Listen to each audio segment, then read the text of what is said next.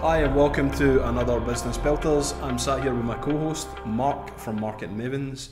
I'm John Loudon from Hybrid Anchor. Today, we're going to be talking about a niching of your market. So, in our industry and in many industries, you get like the full service and they cover different areas, and there's arguments for and against that.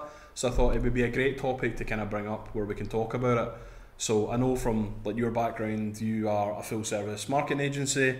I've kind of taken that other kind of side of the coin, which is to try and niche or mm-hmm. niche, as the Americans would call it, down into a specific area. Um, with myself, I actually got some feedback on that quite early on, and they says, "Well, what is your niche?" And I'm thinking, I've got really strong views on startup businesses niching too early, uh, which we'll come on to in the episode. But do you want to kick us off on this one, Mark, yeah, and kind of get started? Absolutely. I mean, I, I come across it quite a lot, um, marketing different companies. They don't actually have a niche or they don't specialise in one specific area. And that is their downfall. You know, when they go like that, oh, well, we, everybody can buy it. And you're like, well, no, it's just like not everybody's going to buy it. You know, not everybody's our audience, absolutely everybody. You're like, and you have to really nail down exactly who your ideal buyer is. Who's who's your ideal client? Who's your ideal buyer? Who do you not want to work with? Who's the people that because we've we've all had that. We've all had like you know bad clients or whatever, ones that don't want to pay or you know ones that try to drive down the cost. Can't say bad clients on a podcast. Man. I mean, they're all good. You're all uh, good clients. Yeah, if you're listening to this, you're a good client. Uh, but you know there there is there. I mean, I'm, I know you say that, but uh, there are there's not, not not maybe not bad, but not. No, I get it. It's it red, red, flags. It's not a good. It's fit. red flags. Not a good fit for the business. Um, so you don't want ev- you don't want everybody. Um, you want you just want the the right type of people. Um, and essentially, another thing about a niche as well is it helps position you in the market. Like, definitely, like if you look at marketing agencies, I mean, it must be a minefield for somebody looking for a marketing agency or a, a, oh, digi- a digital agency because there's about a million of them, maybe trillion. uh, even that way, it's like I'll come into contact with agencies and they're like, "Have you heard of X? Have you heard of Y?" And I'm like, "No, how long have they been in business?" Like, oh, they've been an agency for thirty years. Uh-huh. I'm like, "Well, where are they based?" And they're like, "Glasgow," and I'm like, "Seriously?" Yeah. you know, I've never heard of them. Like, and it's almost like they're not marketing themselves, mm-hmm. but it's just because where I'm looking, that's not where they're showing up. Mm-hmm. So in the circles I'm moving in, those aren't prevalent, whereas yeah. in other circles are probably like shouting really loudly. Yeah, and and it's exactly exactly the point. So I, I I do find it so I do find it quite difficult, and I'm trying when we do our marketing workshops, I'm really trying to delve into this because it bases the success success success of our marketing. Because if we don't market them properly and really niche down in a, a specific area, it won't work. You, I mean, you'd have to have an endless budget to market to absolutely everybody as well. Um, so I don't think a lot of people understand and, and, and really kind of nail down that. I think that they're like, they're scared. There's probably a bit of a fear. Oh, if I don't do that, cutting away a market, I'm, going, I'm not going to get any money from. What if what if I'm like, I'm going to miss out in that business? But no, what if you actually focus in this specific area and do it really well? Get your case studies and your testimonials, and then become the go-to for that then you're going to make a lot more money. You know, because it's yeah, it's, it's having that confidence, isn't it, to yeah. push into the niche. Yeah, it's the, it was funny. I met a guy, um, fairly new to kind of setting up a business, and it's like, say you're like an accountant, so like an accountant, you'll say like, so who's good for you? What's a what would be a great business for you to do business with? And they're like, eh, anyone. And then I always used to answer that kind of a bit coy, but being like, I don't know anyone called anyone. You know, like, uh, you know, any specifics? No. And you're like, so you like you can have anyone in the world and you don't know a name, you don't know a company that you would want to work with, mm-hmm. uh, is the first thing. And then you get the permutations of that. So, like, there's a guy I know, um, he's, he's, his business is called Big Bobble Hats. So, it's these like big yeah. puff hat things. It's really, really cool. Um, but he says that, he says, I'm looking for people with a head, you know, or like an optician, I'm looking for people with eyes. Uh, and it, it's it's kind of funny and it makes you think, yeah, like it could literally be anyone, but I think it's much more powerful if you kind of like work out like who's that persona, who you're trying to take, uh, mm-hmm. talk to. I remember when I first set up, I was having that chat with you, going, you know, I need to kind of work out who this persona is. Like, who are we actually selling to? Um, and I, I would say that I wouldn't say I had one specific niche as such. Um, I would love to have that, and like obviously with other businesses, it's quite clear like that's our focus. Um, but I've kind of had like right e-commerce because it's a kind of background. I've had software again, strong background. So software and e-commerce, and I'm on the more technical end of like the agency scale. So if you imagine it like a, a line, so you've got super creative, really fun. You know the reflection of the moon's inspire, and the feng shui tells me it should be a blue triangle. That's about as far removed for me as far removed can get. Yeah. Whereas if it's like um, actually this is actually causing these serious conversion issues with Yeah. The speed of the website or the way this is integrating is not correct. It's not talking to that service. Mm. That's much more where I'm at home.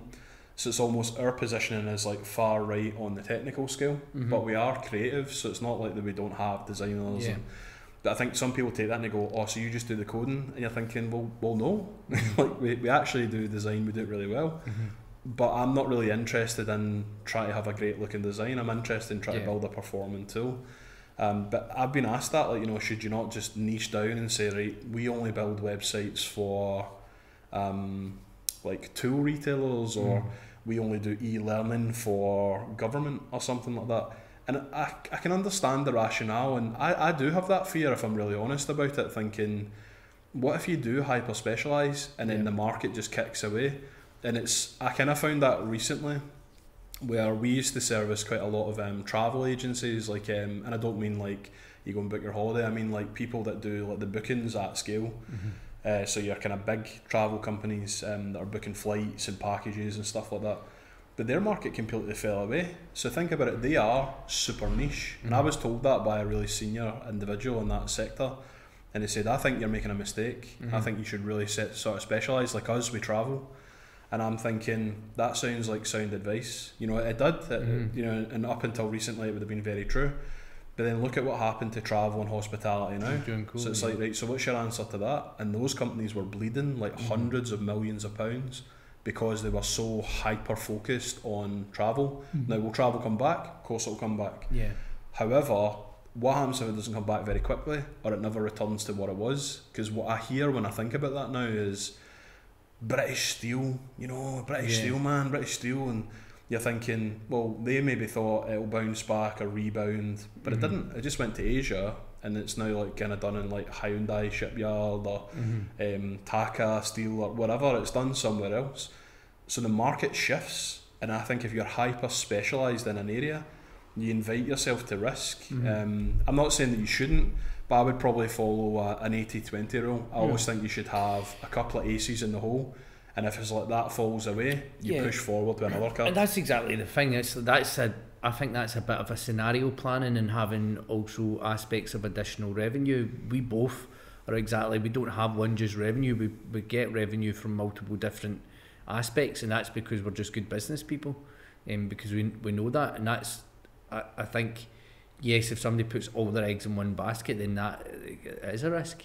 You have to have extra parts where it can like go down the route of one and then go if something pulls out, you're like, oh, I need to now jump jump to that. Um, So walk me through that process and so I, I know what you're alluding to there because I know you but for the benefit of people listening to the podcast or watching the podcast walk me through that scenario so obviously you're known as a marketing agency so the classic um, websites marketing campaigns you know like really good sort of solid marketing advice and consultancy but how have you protected yourself then so I would say that your niche is marketing mhm. like you know obviously you do a wider set of things but that's kind of like your core where I can see it but how have you kind of protected yourself as your revenue streams Well, that's the thing. So, obviously, doing marketing training as well. So, doing marketing training workshops. Um, I take a bit of revenue from that. I've also got revenue coming from like other aspects as, as well, from equity in like different businesses, things taking dividends out of, out of other uh, other businesses. Um, that's essentially kind of helped me. Get me, don't get me wrong. Like, I think what people will probably think you know my agency is not kind of specialised because it is like an all-in-one marketing so a lot of people go well you know other marketing agencies they just do Google Ads or they just do social media but the way that I kind of see it is it's it's a results orientated business and we do have lots of skills but just because you come on, we're not going to give you every single one of them. We're going to give you one that suits you best. So if somebody comes on and you know all they need is just a website, then that's all they're going to get. Um, but I sort of, you know, going again going through the kind of COVID situation, I seen businesses that are specialised in one specific area, and I think I was quite good because I saw my, at the time I saw myself as like sector agnostic, and I was like, oh yeah, I could, you know, we're doing it to, you know, multiple different sectors. But actually, when on reflection and really kind of delving into it, and actually um, we've been talking about this more in our marketing, is we don't do that. There is a, a specific niche, and, and it has always been from the start of the company, is that we focus on startups and scale ups. Now, it was tech startups and scale ups for a long, long Mhm. period of time, um, but it generally is now like startups and scale ups, and that is really kind of, you know, we talked about culture, it goes all the way down to the culture as well, like they grow together. Um, these companies are a, a, smaller budget or they're a smaller size company. We help them grow, and most of the time, cli- the clients leave us now is um, when we have basically grown them to the point where they go, we're going to scaled out of that solution. we're going to hire our own marketing team now. and We don't. We don't. I think that's you. often the best reason for somebody to leave though. Is like Uh-huh. that to me that doesn't feel like that they're leaving because they're upset. They're leaving because organically they have now grown to Yeah. a much more stable. It's Yeah. kind of like a staff member as well. I kind of look at it as it's like a it's a window. Like Mhm. so, we support a client maybe for you know two years, 6 Mhm. years, ten years, but if we're honest about it and the company wants to grow, it should naturally sort of kind of go to a point where they're going, it would probably be cost effective to start Mhm. building at least part of an internal team Mhm. and then longer term Yeah. they kind of do that. That always interests me, and that's probably the only type of exit that I look at, and I think I'm kind of glad that happened because it's like a maturity in the market, and then they're almost like one of your success stories. Like Yeah. we were there when they started, or quite I- recently, It's um, it's um, it, and you it- see their kind of growth, and you're thinking it's brilliant to even just. You know, I, I'm not arrogant in the sense of like we did that. no. The business owner did that, but Yeah. it's um, when I look at kind of businesses like that, like we've got a, a client, um, Sean Cameron, he has an asbestos business, and it has him. And I think when I first met him, just a young guy, really passionate about what he did. I had him, maybe another guy or two in a van, and that Mhm. was it. It had no logo, no website, no nothing. And then we kind of worked with him, and it's like recently he came back to me and he's like, "Would you design me a logo for my group and for my EV installation business?" And I'm, I'm always nosy. I'm like, you know, what's going on now? You know, like what's going on with the business? And he's like, oh, it's amazing, mate. Got like seven vans on the road and a big warehouse, and he's bought the warehouse and all that, and he bought a new house, and he's um, him and his missus are doing really well, and they've got this kind of group going. And I thought it's just bloody inspiring, man, to see like. So we had, you know, their website, their logo, some social media, a brochure. But he's kind of taken those tools and he's ran with them, and I Mhm. think like that becomes your success stories. They become the ones you're going. It doesn't matter like whether they've kind of like naturally kind of done that, so they've went away, they come back, they, Mhm. And that's cool. You know, it's completely cool. But I love seeing that kind of journey. You know, Mhm. where they've kind of like really pushed out. Absolutely, it gives me a warm fuzzy feeling. Like um, we had a company, and um, it basically was like had, he had ten thousand pound in his bank account, and he's like, I'm going to spend this in marketing. Um, you know, please help me as much as you can. And we got really, really quick. Like it was sort of me. I was working on the account, and I got them like page one within a month or something like that for the keyword. But it's just the magical keyword. So leads just poured in and poured in and poured in. And I think in like a year he's like two million pound turnover or something like that, Amazing. something crazy. And then he's like now, for ten grand. I'll give you ten grand. uh, right but anyway, he only that's when he only had ten grand, grand at the time. So he was, Aye, he's, he's, still on he's reinvested it back in. he's still on yeah, he's still on a monthly retainer, Yeah, of uh, even to this day. But uh, it's funny, like That was, as, was as me he, watching your back there, so that people listening aren't going. So if I give him ten 10 grand, I get grand, two million. eh? You're like, you know, Aye. and setting expectations. Well, like, oh. no, but he's um he's now like you know driving about like multiple different vans, and it's great. I'd, like I, that's one of the things I'll say to the kids, and I'm like that. You know, Dad, Dad helped that, do that. Dad came up with that name and he, and like designed the logo and all that. No, yeah. Ah, you told you told us. You told us. So are we going for a happy meal? Ah, you know, well, but I'm I'm dead. It's a pure, it's a big deal. It's like Aye. Anchorman. I'm a big deal. uh, like I'm dead proud. But then in the in the flip side, I work with like large multinational corporations, um, you know, massive company, you know, some of the biggest companies in the UK, and I just I just feel like a number. Like we've been doing we do some great stuff, you know, you know, for instance, we're marketing for the National Trust. Basically, took one of their so it was one of their sites at National Trust. Basically, took their Facebook following from like I think like two people to like over four thousand five hundred people in like a very very short space of time, like less than a month. Um, just creating brilliant content, engaging with this, social media content, and it was just kind of oh that's nice, you know, like It doesn't register the same way a bigger company. and and, it, and and it's it, like a lot of companies that kind of focus on it. So you said something interesting at the start there. You were saying like startups and scale ups. I would help a startup, but I wouldn't say they were our focus area. So I'm mostly interested in scale up. yeah, the ones So that want to grow. Yeah, so it's like I want somebody that wants to put like their own kind of mark and be like the person Mhm. that does this. Because I've looked at it like we were lucky enough to have about forty two blue chips. Mm-hmm. Um, and you're thinking it was great, you know, it's interesting, but it's literally your pound of flesh. My God, you work for those clients, and Uh-huh. they're very demanding. They've got their own internal resources, and everybody's sniping each other and trying Yeah. to kind of like point score. And you know, you're going to be the fall guy more often than not because you're the, Yeah, the supplier absolutely. and stuff like that. Uh, and then startups, it's the other way where they don't have two nickels to run together, and it's going, oh, what about this, what about that, and you're thinking, right, that's quite a lot of expectation getting put in that twenty pound. Yeah. You know, that's is that realistic? Like, you're not going to have a five thousand percent growth on twenty quid. Mm-hmm. Like, you know, it just doesn't happen. If I could do that, you know, I'd be out selling magic beans and doing Yeah. it for myself. But realistically, if you can get a kind of good return, I found that like the kind of scale up market seems to be where we focus. So I try to find companies that have got maybe three to five employees as a kind of minimum, and then obviously we'll support larger than that as well. But the kind of niche or what the area of interest to me, and I don't really know you could even call it a niche, but it's complexity. That's what I like. I enjoy non-standard work or weird work. You know, in the sense of, I mean, my team probably hate me for that. To be honest with you, they um, if you're listening to this, you can tell me if you hate me.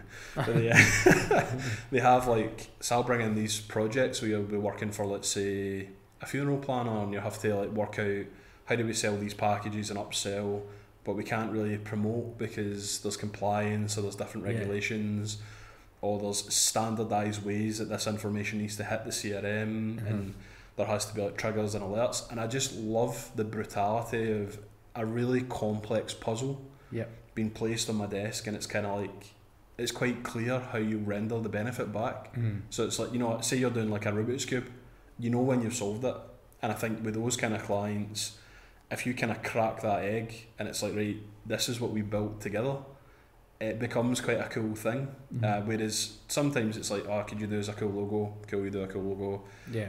you do as a wee brochure you do a wee brochure and they look good don't get me wrong they're, they're stunning assets but it's not super compelling Mm-hmm. sort of challenging work and I think you can't be in challenge 24 7 Mm-hmm. but that's the kind of like niche area I've tried to find is one, I think the projects are more interesting, but I've also kind of noticed that we kind of hold an edge in that space because we're so deployed against complexity that Mhm. when we get a project like that, I think that we really shine Mm-hmm. as like a solutionist because it's like right, let's break it down. Could we do this? Could we do that?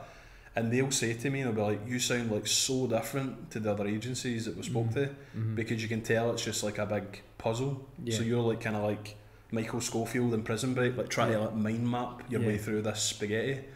Um, and I think that that's been quite good. Whereas realistically, if you say to somebody, "I want a standardised business website," so it's like client X, they want a business website, and you ask say twenty agencies, it's kind of hard to be unique Mhm. because largely we're all rendering the same service, al- albeit we render it in a slightly different way or different Mhm. process. But you know, apples for apples at a certain scale, a lot of agencies are kind of similar. And what I've noticed is that's eroding the kind of value of the service, Mm-hmm. and it's a, it's actually one of the biggest advocacies for a niche is to protect your kind of profit margin. Mm-hmm. So let's say graphic design. You can get graphic design on Fiverr or Yeah. your printer probably has a graphic designer. Like it's relatively cheap to get, even though it's a skill. Whereas if you were to say to somebody like, "Do you know React Native?" They people get big salaries, but therefore Mhm. you can hold a command in a sector Mm-hmm. for quite a pricey kind of project. and it's but And niche in like that, a niche as well. niche in, niche in that. it's a niche in, that's a niche in the skill, isn't it? Like Mhm. a, and it's another way of protecting you for your Yeah. revenue. Yeah, absolutely. Um, and and I- as I have seen, you know, in marketing agencies, it's funny. Like we'll know a, a company, ClickBoost, and I, I remember speaking to as a client, and um, they were like, they're they're doing a really really good job with Google Ads, but the client was like that. Oh, can you do more stuff? Can you do SEO for me? And they're like that. No, we only do Google Ads. That's Yeah, all. We, that. that's all we do. And then you've got like Chris Torres. So he was like Senshi Digital and Dojo Design Studio before that, and then he's totally changed to like tourism marketing agency, just completely tourism.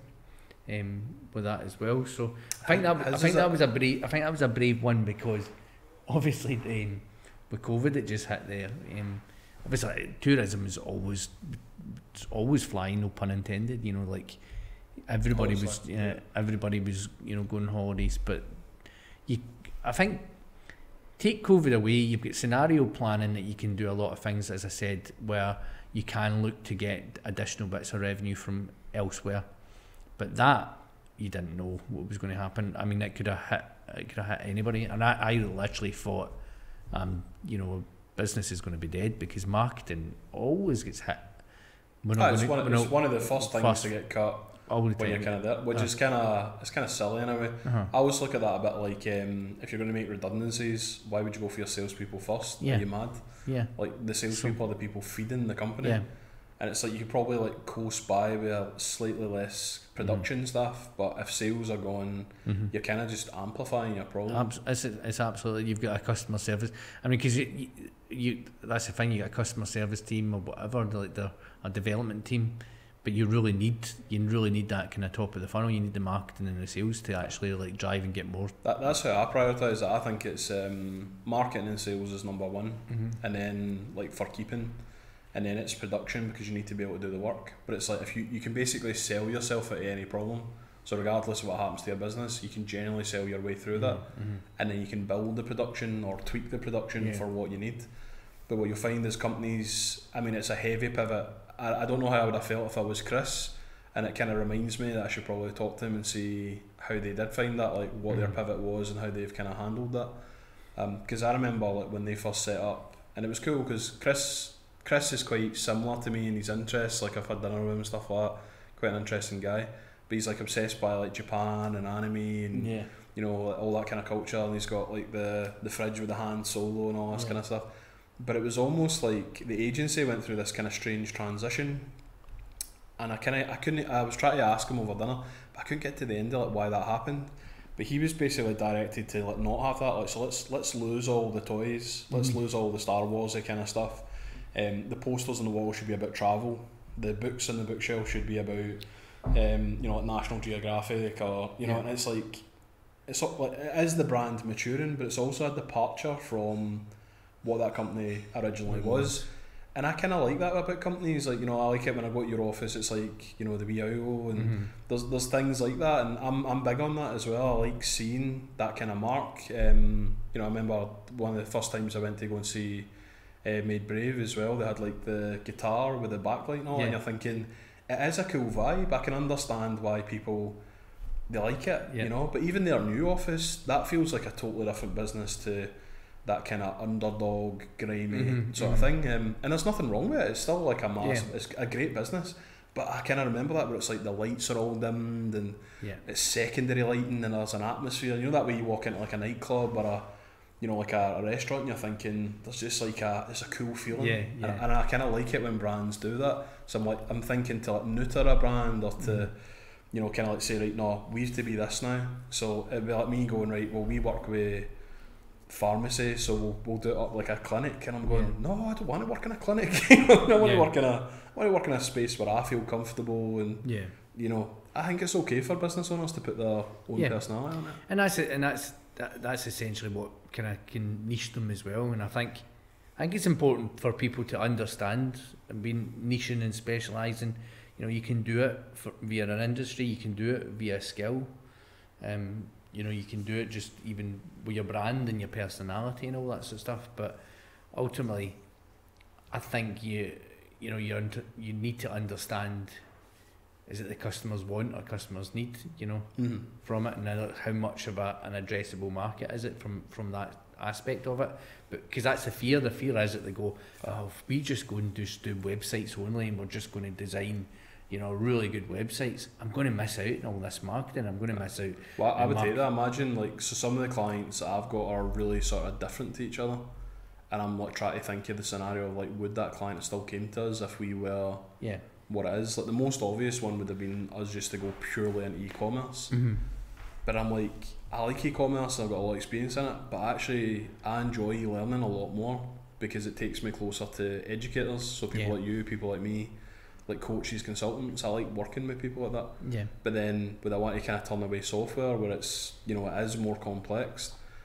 I, I just couldn't see myself doing Yeah. it, and I did think about it in the sense of, you know, the other idea, of course, is to create like a splintered brand. Yeah. So you have like right, um, hybrid anchor is say e-learning, and then like uh, something else like you know chaos digital is Is yeah. web apps and Yeah. you know you know something like uh, what do you call it like whatever just random like spinning puzzle is social media like so you come up with these brands Yeah. and they belong to a family and I think that is one way of addressing it I've seen a few agencies go down that route um, but I think it's just hard because you, you lose that coherence in the Mhm. sense of like it doesn't feel Yeah. like Mark because it's like well what one's the really one you're passionate about because you're going to have a favourite you know what I mean you're Yeah. going to have like right that's the one Yeah, that I kind of feel Because when I Still so. started, when I started, it was definitely tech start, startup, scale up. That was because I worked for lots of tech companies. Um, I love tech. I just, I, I just, and that was just it excites me. But as it's, it's an evolution. I think as you go on, there was like then one of the tech companies would tell somebody else, or somebody would find out about me, and I then take the same process that was successful because it's all about generating results, and I generated results from another company, and then I'm like that. So it's still a startup and scale up, and I've managed to do it for I don't know like double glazing company for instance, and I'm like, well, is it? Do you need to just focus on tech and tech only? We still do. There's still I would probably say maybe eighty percent are still tech companies that, that we that we work with, you know, software or hardware or whatever. Um, but there's that other kind of twenty percent. I would probably say I've kind of toyed with the idea of just going we only do B two B. Um, I would probably say that we're about ninety percent B two B. There's probably like two clients that would do B two C. So probably, you know, maybe you know as I go down the line, just go you know only work with you know B two business to business. B two B startups and scale ups. You know, and that, that that's really kind of niching it right down.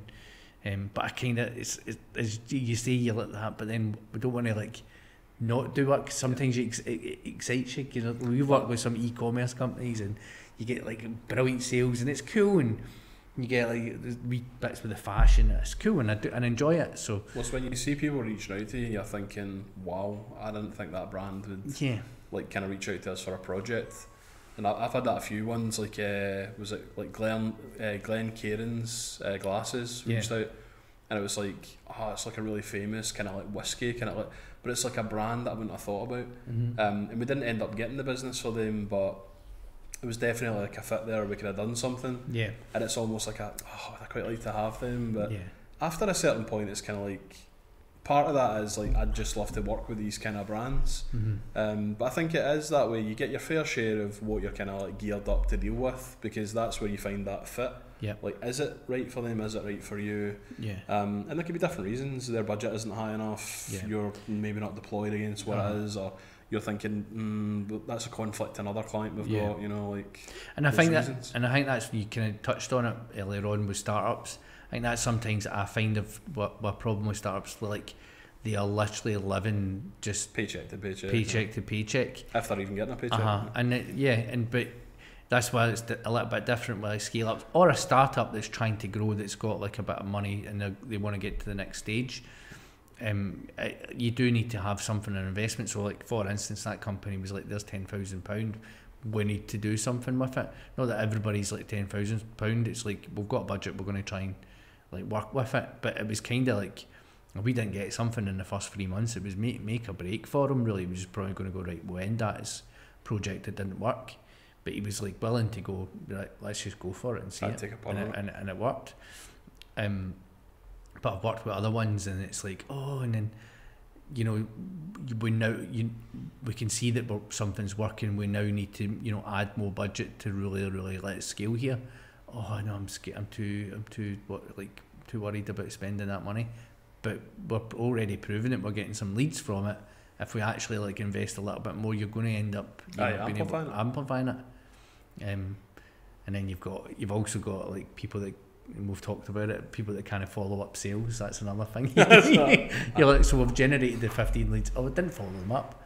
So we didn't get. Right, it always scares. This is gonna. There's a there's a bit broken in the. But you the must cycle. be really rubbish at marketing because they didn't just convert themselves. And that's not how it works. I know. I know. You, you still have to do things. Yeah. so wrapping up there, um, what's your business belter for today? I would say don't cave to pressure. So people will say to you, you need a niche, and mm. I think that yes, I understand the kind of principle of it, and I think if you don't feel comfortable being in a niche, there's also counter arguments to not do it. Mm-hmm. If you decide you want to be in a niche, I would say that you kind of temper it with an 80 20 rule. So, yes, that could be your main focus, that's what your company does, but don't be scared to kind of like try other things. Um, if the pandemic has taught anything, it's exactly that. There's services that I push more heavily now because we're in a kind of pandemic world than what I pushed prior to the pandemic. Mm-hmm. If it kind of returned closer to what it was, I would go back to pushing my best sellers on my yeah. projects like that. There's always going to be work out there, but it makes no sense to tether yourself to a service area that's struggling. Mm-hmm. So if your business was giving steel companies consultancy when British Steel got like caved, mm-hmm. it wouldn't make any sense. Right now, if it's kind of like travel, the travel industry's hurting, so it's like finding something else you can deploy your kind of skills and your assets. If that bounce back, it rebounds, great. It's still mm. going to be there. You still want to be a specialist. You've not lost your knowledge. Um, but I think picking a niche is a dangerous thing if you do it too early on in your business. Mm. And you kind of pick the wrong area because I kind of do feel that it's like a, it's an all-in bet in poker. You know what I mean? Occasionally you're going to hit a certain set of cards where the person's going to like school you on why that was a mistake. Mm-hmm. And I think the market's the thing that dictates. I'm actually quite comfortable for the market to pull me into a niche, mm-hmm. and then if I enjoy it and enjoy the type of work, I'll do more of it. Mm-hmm. And then at that point, you can kind of just consider: would we classify that as a niche? Cool. And then yeah. you can like build up round it. Yeah. Would be mine. What about yeah. you? What's your business for? Yeah, my business belter would be um, similarly what we talked about in the last podcast. Is like when you're doing your mission and vision statement, you really should you should be understanding where you're wanting to go. So if it is website design, if it is like focus on a specific area, um, you know, you're good at what you do, you're good at you're passionate about what you're you're you're doing. Um, and that's where I would then understand if you know your niche. I think you have to. There's there's probably a varied level of niche and specialism as well. I would probably say that we do focus, we are we do have a niche and we are kind of, kind of specialist. Um, but I know that there's a lot of people that will just do absolutely everything for everyone. I think if you're that aspect of everything to everyone, it's going to be hard. Um, is that kind of spray and pray approach? You're just looking to see if something is going to stick. So I would, I would, and would recommend to have that kind of laser focus and try to try to have a, a niche in a specific area. I think you, I think it'd be wary to do it in an industry because if you do, did do a travel, you, even a tech, if you did do something, it could totally fail.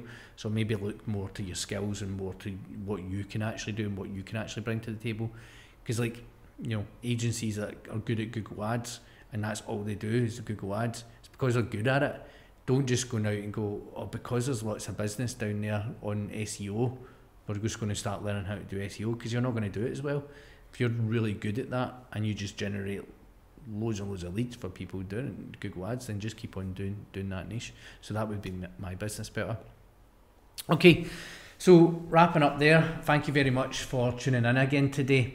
Um, we were talking about identifying your niche and your specialism. Um, it would be really good again for the community to share, you know, what they do in their business. I know that a lot of you've already kind of done it in the in the past in some of the comments. So if you can actually share, you know, what your process was, you know, did you actually create a niche from day one, or did you do it? Did it evolve down the line based on like you know your customer success and things? It'd be really interesting to to hear about that. Um, and again, if anybody wants to share their tips and their business belters, they would uh, be much appreciated. So thank you very much, and it's a goodbye from me. Goodbye for him. See you guys.